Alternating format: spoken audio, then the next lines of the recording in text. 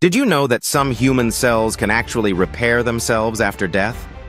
It sounds impossible, but science has revealed that death isn't as instantaneous as we once believed.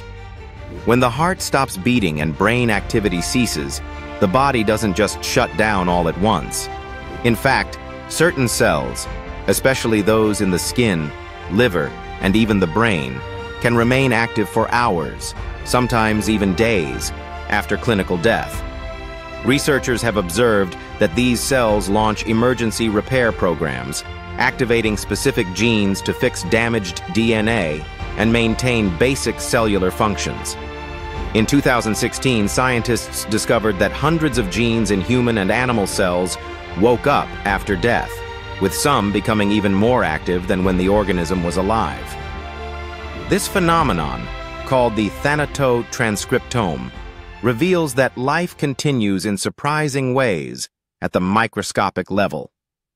While this doesn't mean people can be revived after death, it challenges our understanding of where life truly ends and shows that the boundary between life and death is far more complex and gradual than we ever imagined.